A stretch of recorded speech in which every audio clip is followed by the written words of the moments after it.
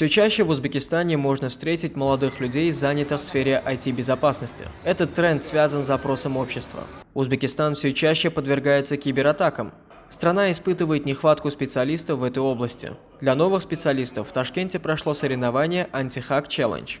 Кибербезопасность – это ну, относить, относительно такая новая область применения знаний, и большого количества специалистов, конечно же, нигде нет. То есть специалисты действительно это дефицит. А, действительно их не хватает, причем это не только мое мнение, это мнение очень многих коллег из сообщества.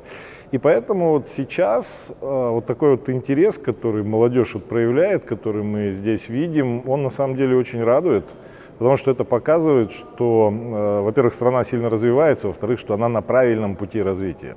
Потому что э, молодые специалисты, вот, с которыми мы сегодня работаем, это и есть те люди, которые определяют тренд развития индустрии и тренды развития страны в дальнейшем. В 2020 году местные и иностранные хакеры атаковали различные организации страны 27 миллионов раз. Суммарно из-за этих атак интернет-сайты Узбекистана не работали миллион минут. Если хакеры или какие-то злоумышленники захотели взломать систему, то понятное дело, что в любом случае взломают.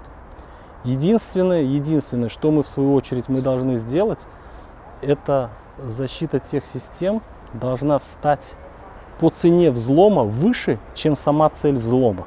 Но под ударом находятся и рядовые жители. Почти у каждого сегодня есть смартфон, а это значит, что их владельцы могут лишиться персональных данных. Чтобы люди не попались на удочку мошенников, Центр кибербезопасности Узбекистана проводит тренинги и для предприятий, и для жителей. А сейчас все остро и остро. Вообще возникает этот вопрос по информационной безопасности. Не только информационная безопасность, но и э, осведомленность населения.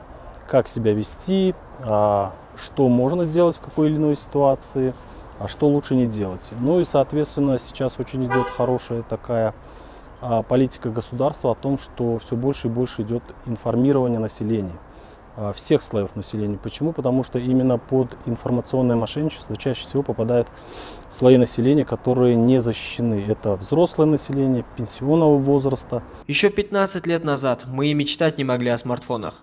Сегодня они плотно вошли в нашу жизнь. Эксперты уверены, следующие 10 лет IT-мир будет сфокусирован на безопасности. Ведь чем глубже информационные технологии проникают в нашу жизнь, тем рискованнее это выглядит. Взять на себя роль регулятора должно государство, от создания экосистемы безопасности до принятия специальных законов. Фахридин Салахидинов, Ильхом Хурсаналиев, Узбекистан, специально для CGTN.